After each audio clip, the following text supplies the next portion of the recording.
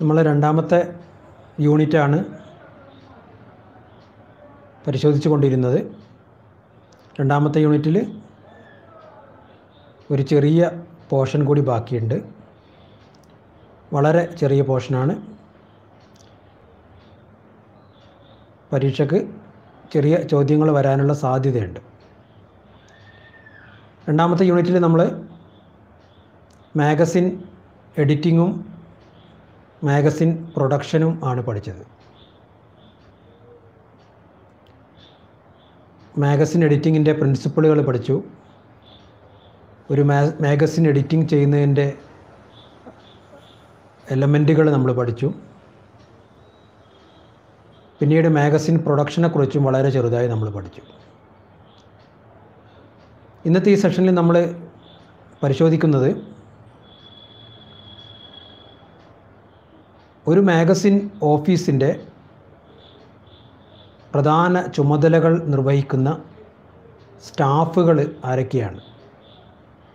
അവരുടെ ജോലി എന്തൊക്കെയാണ് എന്നാണ് ഒരു മാഗസിൻ എഡിറ്റോറിയൽ ഡിപ്പാർട്ട്മെന്റിന്റെ സ്റ്റാഫ് ആൻഡ് ദെയർ ഫങ്ഷൻസ്. ആരൊക്കെയാണ് അവരുടെ അവിടുത്തെ ജോലി ചെയ്യുന്ന ആളുകൾ? അവരുടെ ജോലിയുടെ നാച്ചർ എന്താണ്? ഇതാണ് നമ്മൾ ഇന്നത്തെ ഈ സെഷനിൽ പഠിക്കുന്നത്.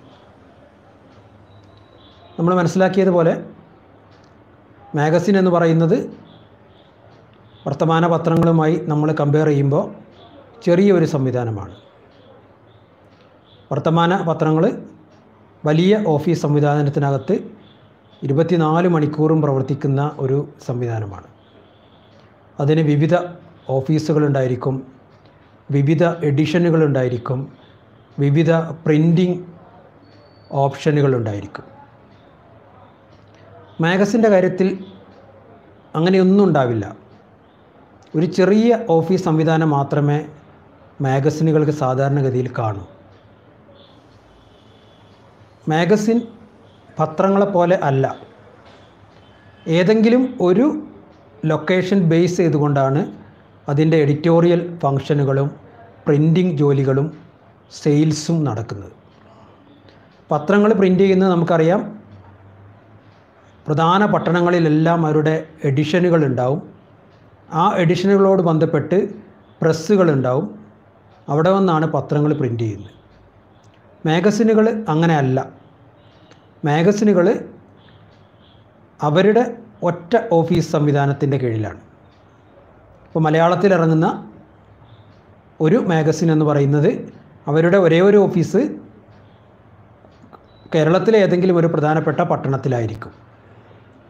അവിടെ വെച്ചാണ് അതിന്റെ എഡിറ്റോറിയൽ ഫങ്ഷനുകൾ നടക്കുന്നത് അതിന്റെ എഡിറ്റിംഗ് നടക്കുന്നത് അതിന്റെ പ്രിന്റിങ്ങും സെയിൽസും മാർക്കറ്റിങ്ങും എല്ലാം നടക്കുന്നത് ആ ഓഫീസ് കേന്ദ്രീകരിച്ചാണ്. ഇത്തരത്തിലുള്ള ഒരു മാഗസിൻ ഓഫീസിന്റെ സ്റ്റാഫുകൾ ആരൊക്കെയാണ്? അവരോരോരുത്തരും എന്തൊക്കെ ജോലികളാണ് ചെയ്യുന്നത് എന്നാണ് നമ്മൾ ഈ സെഷനിൽ പരിശോധിക്കുന്നത്. വളരെ ലളിതമായി നമുക്ക് മനസ്സിലാക്കാവുന്ന കാര്യം മാത്രമാണ്. ആരൊക്കെയാണ് ഒരു മാഗസിൻ എഡിറ്റോറിയൽ ഡിപ്പാർട്ട്മെന്റിന്റെ സ്റ്റാഫ് എന്ന് പറയുന്നത്? ഓരോരുത്തരും എന്ത് തരം ജോലികളാണ് ചെയ്യുന്നത്? ഓരോരുത്തരുടെയും ഡ്യൂട്ടികൾ എന്താണ്? ഏറ്റവും പ്രധാനപ്പെട്ട ജോലികൾ ചെയ്യുന്നത് ആരൊക്കെയാണ്? നമുക്ക് ഓരോന്നായി പരിശോധിക്കാം. ഒന്നാമത്തെ വ്യക്തി എഡിറ്ററാണ്. അത് പല മാഗസിനുകളിൽ പല പേരുകളിലാണ് അറിയപ്പെടുന്നത്. ചിലർ എഡിറ്റർ എന്ന് പറയും. ചിലർ ചില മാഗസിനുകൾ എഡിറ്റർ ഇൻ ചീഫ് എന്ന് പറയും. മറ്റു ചില മാഗസിനുകൾ ചീഫ് എഡിറ്റർ എന്ന് പറയും. മറ്റു ചിലത് എക്സിക്യൂട്ടീവ് എഡിറ്റർ എന്ന് പറയും. ഇത്തരത്തിൽ പല പേരുകളിൽ അറിയപ്പെടുന്ന ഒരു തസ്തികയാണ് നമ്മൾ ആദ്യം പറയുന്നത്. Editor editor in chief chief editor executive editor ഇത്തരം പല പേരുകളിൽ ഈ തസ്തിക അറിയപ്പെടാറുണ്ട്. ഈ തസ്തികയാണ് ഒരു മാഗസിന്റെ എഡിറ്റോറിയൽ ഡിപ്പാർട്ട്മെന്റിന്റെ ഏറ്റവും ഉയർന്ന തസ്തിക. ആ മാഗസിൻ പബ്ലിക്കേഷന്റെ ചീഫ് എന്ന് പറയുന്നത് എഡിറ്ററാണ്. ഇതിന് ചില മാസികകൾ അതിന് എക്സിക്യൂട്ടീവ് എഡിറ്റർ എന്നും പറയാറുണ്ട്. ചിലർ എഡിറ്റർ എന്ന് പറയും ചീഫ് എഡിറ്റർ എന്ന് പറയും ചിലർ എഡിറ്റർ ഇൻ ചീഫ് എന്ന് പറയും. ഓരോ മാഗസിനും ഓരോ രൂപത്തിൽ അതിനെ പേരിട്ട് വിളിക്കും. അതാണ് ഏറ്റവും ഉയർന്ന തസ്തിക ഒരു മാഗസിനിലെ. ഒരു മാഗസിന്റെ എഡിറ്റർ എന്ന് പറയുന്നത് വളരെ പരിചയസമ്പന്നനായ വളരെ തഴക്കവും പഴക്കവും ചെന്ന ഒരു ജേർണലിസ്റ്റ് ആയിരിക്കും അല്ലെങ്കിൽ അതിപ്രശസ്തമായ ഒരു എഴുത്തുകാരനോ ഒരു സാഹിത്യ പ്രതിഭയോ ആയിരിക്കാം. ആ മാഗസിന്റെ എല്ലാ പ്രവർത്തനങ്ങളുടെയും ചുക്കാൻ പിടിക്കുന്ന വ്യക്തിയാണ് എഡിറ്റർ എന്ന് പറഞ്ഞാൽ. അദ്ദേഹം നിരവധി വർഷത്തെ പത്രപ്രവർത്തന പൊതുപ്രവർത്തന സാഹിത്യ രംഗങ്ങളിൽ പരിചയസമ്പന്നനായ ഒരു വ്യക്തിയായിരിക്കും. അദ്ദേഹം അതേസമയം മാസികൾക്ക് വേണ്ടി നിരവധി ലേഖനങ്ങൾ എഴുതി പരിചയമുള്ള വളരെ വലിയ ഒരു വ്യക്തിത്വത്തിന് എല്ലാവരും ആദരിക്കപ്പെടുന്ന ബഹുമാനിക്കപ്പെടുന്ന ഒരു വ്യക്തിത്വം കൂടിയായിരിക്കും എഡിറ്റർ. എഡിറ്ററുടെ പ്രധാന ജോലികൾ എന്തൊക്കെയാണ്? ആ മാഗസിന്റെ എഡിറ്റോറിയൽ ഫങ്ഷനുകളും ബിസിനസ് ഫംഗ്ഷനുകളും സെയിൽസ് ആൻഡ് മാർക്കറ്റിംഗ് ഫംഗ്ഷനുകളും എല്ലാം കോർഡിനേറ്റ് ചെയ്യുന്ന ഒരു കോർഡിനേറ്ററാണ് എഡിറ്റർ. എഡിറ്റോറിയൽ ഫംഗ്ഷനുകൾ എന്ന് പറഞ്ഞാൽ ഓരോ ഇഷ്യൂവിലും ആ മാഗസിൻ എങ്ങനെയാണ് ഇറങ്ങുന്നത് എത്തരത്തിലുള്ള ലേഖനങ്ങളാണ് പ്രസിദ്ധീകരിക്കുന്നത് ഏത് സ്റ്റോറിയാണ് കവർ സ്റ്റോറിയാക്കുന്നത് ഇത്തരത്തിലുള്ള ആ മാഗസിനിലെ എഡിറ്റോറിയൽ കണ്ടന്റിനെ മുഴുവനും നിയന്ത്രണം എഡിറ്ററുടെ കയ്യിലായിരിക്കും. അതിന് പുറമെ ആ മാഗസിന്റെ ബിസിനസ് സ്ട്രാറ്റജികൾ തയ്യാറാക്കണം. മാഗസിൻ മികച്ച എഡിറ്റോറിയൽ കണ്ടന്റ് കൊണ്ട് മാത്രം മാഗസിൻ മാർക്കറ്റിൽ പിടിച്ചു നിൽക്കാൻ കഴിയില്ല. അതിന് വേണ്ട ബിസിനസ് തന്ത്രങ്ങളും സെയിൽസ് ആൻഡ് മാർക്കറ്റിംഗ് തന്ത്രങ്ങളും തയ്യാറാക്കണം. ഇതാണ് ഈ മൂന്ന് ഫങ്ഷനുകളും കോർഡിനേറ്റ് ചെയ്യുക എന്നുള്ളതാണ് ഒരു എഡിറ്ററുടെ ഏറ്റവും പ്രധാന ചുമതല. അതോട് കൂടെ തന്റെ കീഴിലുള്ള എല്ലാ എഡിറ്റോറിയൽ സ്റ്റാഫിനെയും കോർഡിനേറ്റ് ചെയ്തു പോകുന്നതിനും ഓരോ ഇഷ്യൂവിലെയും വിഷയങ്ങൾ എങ്ങനെ അവതരിപ്പിക്കണം എന്നുള്ള കാര്യത്തിലും അവസാന തീരുമാനങ്ങൾ എടുക്കുന്നത് പലപ്പോഴും എഡിറ്ററായിരിക്കും. ഇത്തരത്തിൽ ഒരു മാഗസിന്റെ സർവ കാര്യങ്ങളിലും അവസാന വാക്കായി അറിയപ്പെടുന്ന ഒരു തസ്തികയാണ് എഡിറ്റർ അല്ലെങ്കിൽ എഡിറ്റർ ഇൻ ചീഫ് എന്ന് പറഞ്ഞാൽ. അതോടുകൂടെ ആ മാഗസിന്റെ ഓണർമാരുടെ അല്ലെങ്കിൽ അതിന്റെ ഉടമസ്ഥതരുടെ എഡിറ്റോറിയൽ പോളിസി എന്താണെന്ന് മനസ്സിലാക്കി ഓരോ ഇഷ്യൂവും തയ്യാറാക്കേണ്ട വളരെ പ്രധാനപ്പെട്ട ചുമതലയും ഒരു എഡിറ്ററിന് ഉണ്ട്. എഡിറ്റോറിയൽ പോളിസി എന്താണെന്ന് നമ്മൾ മനസ്സിലാക്കി. എഡിറ്റോറിയൽ പോളിസി മനസ്സിലാക്കിക്കൊണ്ട് ഓരോ ഇഷ്യൂവും തയ്യാറാക്കുക എന്നതിന്റെ പൂർണ ഉത്തരവാദിത്വവും ആ മാഗസിന്റെ എഡിറ്റർക്കുണ്ട്. ഇത് മാത്രമല്ല എന്തെങ്കിലും നിയമക്കുരുക്കുകളിൽ പെട്ടുകഴിഞ്ഞാൽ അതിന്റെ പൂർണ ഉത്തരവാദിത്വം നമ്മൾ പത്രങ്ങളിൽ പഠിച്ച പോലെ തന്നെ എഡിറ്റർക്കായിരിക്കും. എല്ലാ തരത്തിലുള്ള നിയമ നടപടികളെയും നേരിടേണ്ട ഒന്നാമത്തെ വ്യക്തിയും ആ പത്രത്തിന്റെ എഡിറ്ററായിരിക്കും. അപ്പോൾ ഇത്രയും പ്രധാനപ്പെട്ട ചുമതലകളാണ് ഒരു മാഗസിന്റെ എഡിറ്റർ ചെയ്യുന്നത്. മാഗസിന്റെ എഡിറ്റർ തന്റെ കീഴിലുള്ള എല്ലാ എഡിറ്റോറിയൽ സ്റ്റാഫിനെയും മാഗസിൻ എഡിറ്റർമാരെയും എഡിറ്റോറിയൽ അസിസ്റ്റന്റുമാരെയും സബ് എഡിറ്റർമാരെയും കോപ്പി എഡിറ്റർമാരെയും ആർട്ടിസ്റ്റുകളെയും ഡിസൈനർമാരെയും ആർട്ട് ഡയറക്ടർമാരെയും എല്ലാവരെയും ഗൈഡ് ചെയ്യേണ്ട ഉത്തരവാദിത്വമാണ് ഒരു എഡിറ്റർക്ക് ഉള്ളത്. അപ്പോൾ ഒന്നാമത് നമ്മൾ മനസ്സിലാക്കുന്ന ഒരു മാഗസിനിലെ ഏറ്റവും മുതിർന്ന സ്റ്റാഫ് എന്ന് പറയുന്നത് ഒന്നുകിൽ എഡിറ്ററാണ് എഡിറ്റർ ഇൻ ചീഫാണ് അല്ലെങ്കിൽ ചീഫ് എഡിറ്ററാണ് അല്ലെങ്കിൽ ചില സമയങ്ങളിൽ എക്സിക്യൂട്ടീവ് എഡിറ്റർ എന്നും അറിയപ്പെടാറുണ്ട്. നമ്മളൊരു മാഗസിൻ എടുത്തുകൊണ്ട് പരിശോധിച്ച് കഴിഞ്ഞാൽ അതിൽ ചേർത്തിരിക്കും ആരാണ് ആ മാഗസിന്റെ എഡിറ്റർ അത് പല പേരുകളിലായിരിക്കും എന്ന് മാത്രം ഏറ്റവും മുതിർന്ന ഒരു അംഗമാണ് എഡിറ്റർ എന്ന് പറയുന്നത്. രണ്ടാമത്തെ തസ്തിക മാനേജിംഗ് എഡിറ്ററാണ്. മാനേജിംഗ് എഡിറ്റർ ഒരേ സമയത്ത് ആ മാഗസിൻ സുഗമമായി പ്രസിദ്ധീകരിച്ചു പോകുന്നു എന്ന് ഉറപ്പുവരുത്തേണ്ട ഏറ്റവും പ്രധാനപ്പെട്ട ചുമതലയുള്ളയാളാണ് managing editor. Ensuring smooth workflow of the magazine. ആ മാഗസിന്റെ എല്ലാ ജോലികളും വളരെ സ്മൂത്തായിട്ട് ഒരു തടസ്സങ്ങളുമില്ലാതെ നടക്കുന്നു എന്ന് ഉറപ്പുവരുത്തേണ്ട ചുമതലയാണ് മാനേജിംഗ് എഡിറ്റർ.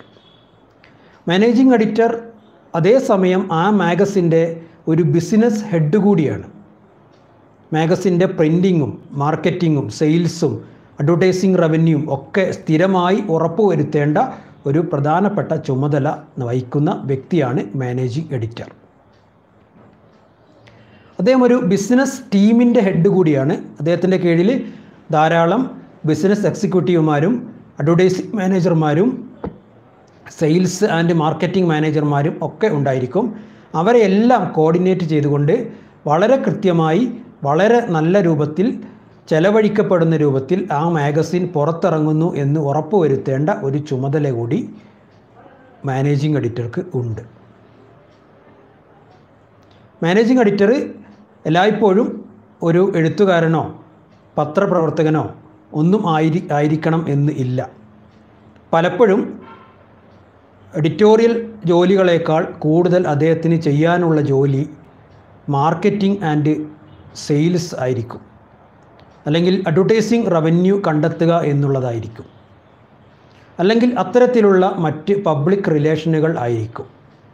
അതുകൊണ്ട് തന്നെ ഒരു മാ മാഗസിന്റെ മാനേജിംഗ് എഡിറ്റർ എന്ന് പറയുന്നത് എല്ലായ്പ്പോഴും ഒരു ജേർണലിസ്റ്റോ എഴുത്തുകാരനോ അതിപ്രശസ്തമായ ഒരു എഴുത്തുകാരനോ ഒന്നും ആയിരിക്കണം എന്നില്ല. പകരം ഒരു ബിസിനസ് ഹെഡ് ആയിട്ടാണ് ഒരു മാഗസിനെ എഡിറ്ററെ നമ്മൾ പരിഗണിക്കുന്നത്. ഈ വ്യക്തി മിക്കപ്പോഴും ആ മാഗസിൻ മാഗസിന്റെ ഓണറുടെ അടുത്ത വ്യക്തി കൂടി ആയിരിക്കും. അല്ലെങ്കിൽ ആ മാഗസിൻ ആരാണോ ഓൺ ചെയ്യുന്നത് അതിന്റെ ഉടമസ്ഥൻ ആരാണോ ആ ഉടമസ്ഥൻ നിയോഗിക്കുന്ന ഒരു വ്യക്തി കൂടിയായിരിക്കും പലപ്പോഴും മാനേജിങ് എഡിറ്റർ. അദ്ദേഹം പ്രധാനമായിട്ടും ആ മാഗസിന്റെ എല്ലാ തരത്തിലുള്ള ഫങ്ഷനുകളും കൃത്യമായി നടക്കുന്നുണ്ടോ എന്ന് മാനേജ് ചെയ്യേണ്ട ഒരു വ്യക്തിയാണ്. അദ്ദേഹം ആ മാഗസിന്റെ സ്മൂത്ത് വർക്ക് ഫ്ലോ മാനേജ് ചെയ്യുന്ന ഒരു വ്യക്തിയാണ് മാനേജിങ് എഡിറ്റർ. പലപ്പോഴും നമ്മളെ പല മാഗസിനുകളും വളരെ മാർക്കറ്റിൽ വില കൂടിയ ബിസിനസ് എക്സിക്യൂട്ടീവുമാരെയൊക്കെ പല മാഗസിനുകളുടെയും മാനേജിങ് എഡിറ്ററായിട്ട് നിയോഗിക്കാറുണ്ട്. കാരണം മാനേജിംഗ് എഡിറ്ററുടെ ഏറ്റവും പ്രധാന കടമ എഡിറ്റോറിയൽ ഫങ്ഷനുകൾ അല്ല. പകരം അതിന്റെ ബിസിനസ് തന്ത്രങ്ങളും അതിന്റെ വർക്ക് ഫ്ലോ മെയിന്റെയിൻ ചെയ്യുക എന്നുള്ളതാണ്. ലാഭകരമായി ആ മാഗസിൻ എങ്ങനെ നടത്തിക്കൊണ്ടുപോകുന്നു എന്നുള്ളത് ഉറപ്പുവരുത്തുക. മൂന്നാമത് നമ്മൾ പറയുന്ന തസ്തിക മാഗസിൻ എഡിറ്ററാണ്. മാഗസിൻ എഡിറ്റർ എന്ന് പറഞ്ഞാൽ അടുത്ത ഇഷ്യൂ ഒരു മാഗസിന്റെ അടുത്ത ഇഷ്യൂ എങ്ങനെ വേണം എന്തൊക്കെ വേണം എന്ന് പൂർണമായി പ്ലാനിങ് നടത്തുന്ന വ്യക്തിയാണ് മാഗസിൻ എഡിറ്റർ. ആ മാഗസിന്റെ എല്ലാമാണ്. ആ മാഗസിന്റെ ഹൃദയമാണ് ആ മാഗസിൻ എഡിറ്റർ. നമ്മൾ പത്രങ്ങൾ രൂപകൽപ്പന ചെയ്യുന്ന സമയത്ത് ന്യൂസ് എഡിറ്റർ എന്നൊരു തസ്തികയെക്കുറിച്ച് പറഞ്ഞിട്ടുണ്ട്. ഓരോ എഡിഷനിലും ഒരു ന്യൂസ് എഡിറ്റർ ഉണ്ടായിരിക്കും. ഈ ന്യൂസ് എഡിറ്റർ ആണ് സത്യത്തിൽ പത്രത്തിന്റെ കണ്ടന്റ് തീരുമാനിക്കപ്പെടുന്നത്.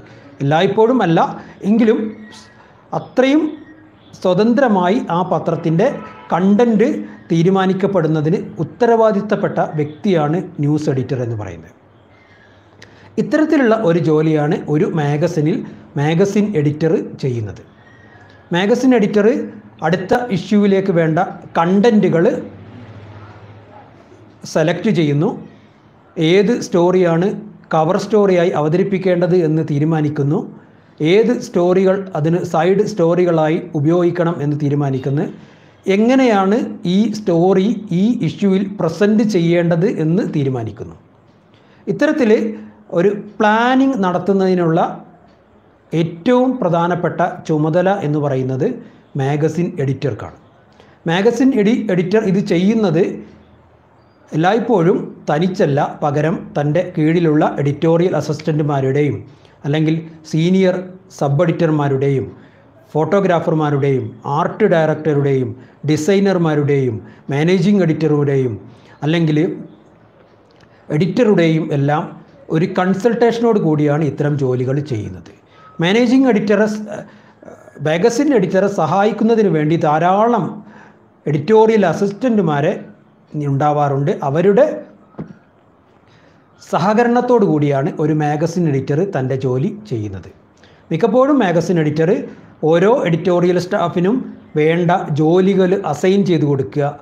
അടുത്ത ഇഷ്യൂവിലേക്ക് നിങ്ങൾ തയ്യാറാക്കേണ്ട ജോലി ഇതാണ്. ഇതിനാണ് നിങ്ങൾ പ്രാധാന്യം കൊടുക്കേണ്ടത്. അതിനുവേണ്ട സ്റ്റോറികൾ നിങ്ങൾ കവർ ചെയ്ത് തയ്യാറാക്കി കൊണ്ടുവരണം. എന്നിങ്ങനെ ഒരു അസൈൻമെന്റുകളും ഗൈഡ് ലൈൻസുകളും കൊടുക്കാറുണ്ട് മാഗസിൻ എഡിറ്റർ ഇത് മാഗസിൻ എഡിറ്റർ എന്ന് പറഞ്ഞാൽ ആ മാഗസിന്റെ കോറാണ് അതിന്റെ കാമ്പ് എന്ന് പറയുന്നത് മാഗസിൻ എഡിറ്ററാണ് മാഗസിൻ എഡിറ്റർ എടുക്കുന്ന തീരുമാനങ്ങൾ എല്ലായ്പ്പോഴും എഡിറ്ററുമായും മാനേജിംഗ് എഡിറ്ററുമായും ചർച്ച ചെയ്തിട്ടായിരിക്കും എങ്കിൽ പോലും വളരെ സ്വതന്ത്രമായി തന്റെ ജോലി ചെയ്യുന്നതിന് അനുവാദമുള്ള ഒരു വ്യക്തിയാണ് മാഗസിൻ എഡിറ്റർ എന്ന് പറയുന്നത്.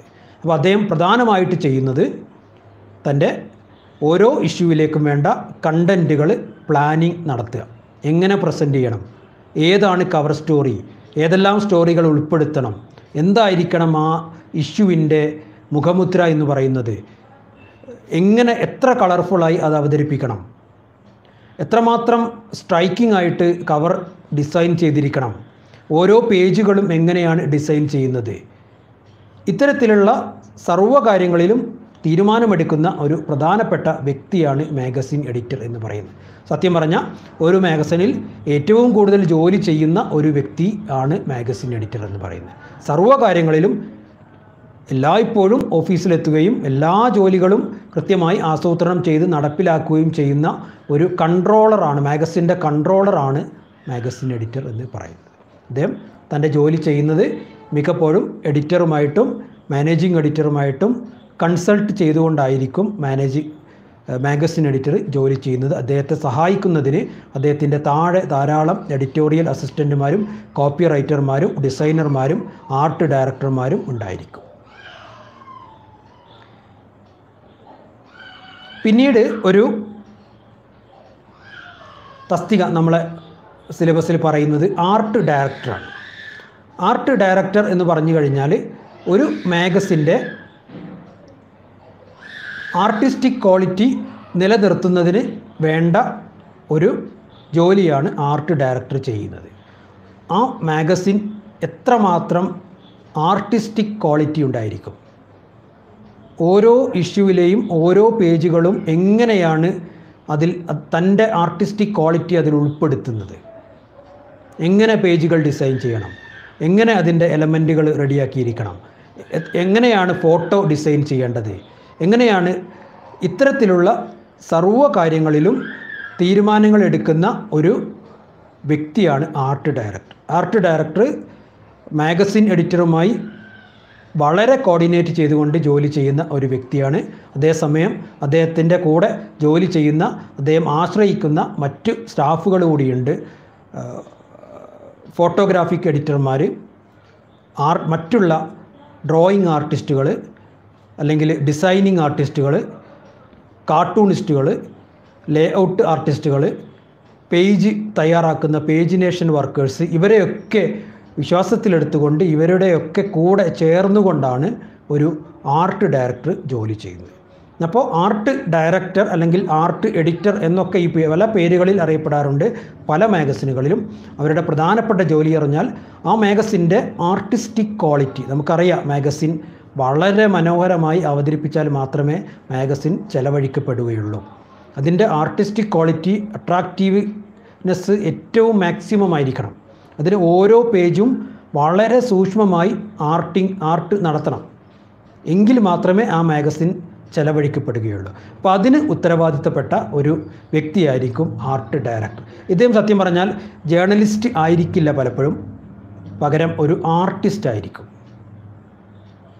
ജേർണലിസ്റ്റ് തന്നെ വേണമെന്നില്ല ഒരു ആർട്ട് ഡയറക്ടർ ആയിരിക്കാൻ. പകരം മികച്ച ഒരു ആർട്ടിസ്റ്റ് ആയിരുന്നാൽ മതി. അത്യാവശ്യം ജേർണലിസ്റ്റിക് ക്വാളിറ്റികളൊക്കെയുള്ള ജേർണലിസത്തെക്കുറിച്ച് നന്നായി അറിയുന്ന ഒരു മികച്ച ആർട്ടിസ്റ്റിനെയാണ് ഒരു മാഗസിന്റെ ആർട്ട് ഡയറക്ടറായിട്ട് വെക്കുന്നത്. അടുത്ത ഒരു സ്റ്റാഫ് എന്ന് പറയുന്നത് ഡിസൈനറാണ്. ഡിസൈനിങ് എന്ന് പറഞ്ഞാൽ എന്താണെന്ന് നമുക്കറിയാം. ആ മാഗസിൻ എങ്ങനെ ഡിസൈൻ ചെയ്യണം? കവർ പേജ് എങ്ങനെ ഡിസൈൻ ചെയ്യണം? എല്ലാ പേജുകളും എങ്ങനെ ഡിസൈൻ ചെയ്യണം? ഓരോ സ്റ്റോറിയും എങ്ങനെ ഡിസൈൻ ചെയ്യണം? എങ്ങനെയാണ് പേജ് ഡിസൈനിങ്ങും ലേഔട്ടും പേജിനേഷനും ഒക്കെ ചെയ്യുന്നത്? ഇതിന് ചുമതലപ്പെട്ട വ്യക്തിയാണ് പേജ് ഡിസൈനർ അല്ലെങ്കിൽ ആർട്ട് ഡിസൈനർ എന്നൊക്കെ പറയുന്നത്. അദ്ദേഹം മാഗസിൻ എഡിറ്ററുമായിട്ടും ആർട്ട് ഡയറക്ടറുമായിട്ടും പിക്ചർ എഡിറ്റർമാരുമായിട്ടുമൊക്കെ ഫോട്ടോഗ്രാഫിക് എഡിറ്റർമാരുമായിട്ടൊക്കെ വളരെ കോർഡിനേഷനിൽ ജോലി ചെയ്യുന്ന ഒരു വ്യക്തിയാണ് ആർട്ട് ഡിസൈനർ എന്ന് പറയുന്നത്. എന്തൊക്കെയാണ് ഒരു ഡിസൈനറുടെ ജോലികൾ? പ്രധാ ഏറ്റവും പ്രധാനപ്പെട്ടത് ഓരോ പേജും ഡിസൈൻ ചെയ്യുക. ഓരോ സ്റ്റോറിയും ഡിസൈൻ ചെയ്യുക. ഓരോ കവറും ഡിസൈൻ ചെയ്യുക. ഇത്തരത്തിൽ എല്ലാ തരത്തിലുള്ള ഡിസൈനിങ് വർക്കുകളും ചെയ്യുന്ന ഒരു വ്യക്തിയാണ് ഡിസൈനർ എന്ന് പറയുന്നത്. അടുത്ത സ്റ്റാഫ് എന്ന് പറയുന്നത് എഡിറ്റോറിയൽ അസിസ്റ്റന്റുമാരാണ് നമ്മൾ നേരത്തെ പറഞ്ഞു മാഗസിൻ എഡിറ്ററെ സഹായിക്കുന്നതിന് വേണ്ടി നിരവധി എഡിറ്റോറിയൽ അസിസ്റ്റന്റുമാരുണ്ടാവും അവരെ പല പേരുകളിൽ അറിയപ്പെടാറുണ്ട്. എഡിറ്റോറിയൽ അസിസ്റ്റന്റ് എന്ന് പറയാറുണ്ട് സബ് എഡിറ്റേഴ്സ് എന്ന് പറയാറുണ്ട് കോപ്പി എഡിറ്റേഴ്സ് എന്ന് പറയാറുണ്ട് കോപ്പി റൈറ്റേഴ്സ് എന്ന് പറയാറുണ്ട് പല പേരുകളിൽ അറിയപ്പെടാറുണ്ട് മാഗസിനിൽ. അപ്പോൾ ഇവരുടെ ജോലി മാഗസിൻ എഡിറ്ററെ സഹായിക്കുക എന്നുള്ളതാണ്. ഇവർ പ്യുവറായിട്ട് ജേർണലിസ്റ്റുകളായിരിക്കും. ഒരു മികച്ച അൽ സ്വല്പം പരിചയമുള്ള മികച്ച ജേർണലിസ്റ്റുകളെയാണ് സാധാരണഗതിയിൽ ഒരു മാഗസിന്റെ എഡിറ്റോറിയൽ അസിസ്റ്റന്റുമാരായിട്ട് നിയോഗിക്കുന്നത്. അവർക്ക് മുഴുസമയവും ജോലി ചെയ്യുന്ന വ്യക്തികളാണ് എല്ലാ ദിവസവും ഓഫീസിലെത്തി